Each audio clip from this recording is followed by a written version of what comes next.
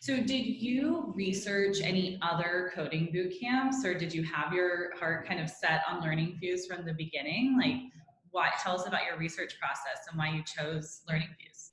Yeah, um, with a lot of things, um, actually, in, even in my family, I'm known as the person to go to to like they're going to research every option and then you know pick one that um, at least is is right for me. Um, so with the boot camps, I was looking at a lot of different ones, and um, then I had a friend who had gone to LearningFuze and had told me about LearningFuze, and so um, that was sort of one of the last ones on the list.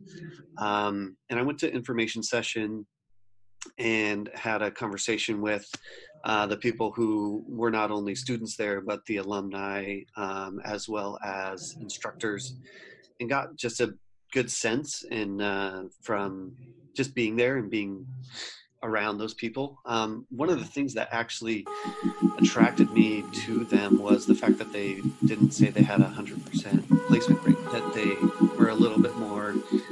in the like 94 range or you know 90 range. That um, you know they they didn't say everybody was placed. Um, which gave a little bit of like i guess that sort of humanness to it um, and um, you know so after the information session after having um, sort of uh, all of the information that i could get from learning mm-hmm. fuse coupled with all the other information i'd gotten from other uh, boot camps um, i decided the in-person immersive was the way to go um, and then i really liked LearningFuze because the alumni uh, that i had talked to mm-hmm. we're still continuing to get support from LearningFuze, even though they were already working, you know, six, eight months into their uh, their new careers.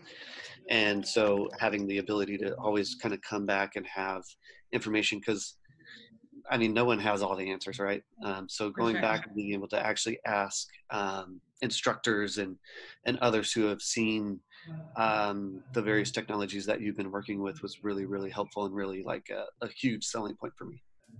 Um, I think you gave three really good pieces of advice in your answer, which is to actually go to the classroom, um, go to an info session, talk to alumni, and then also ask about placement rates. Yeah. So when student when people ask me like what to how to research a, a boot camp, like those are my those are three of my pieces of advice. So um, that's fantastic. I love that you asked about job placement. It's really smart.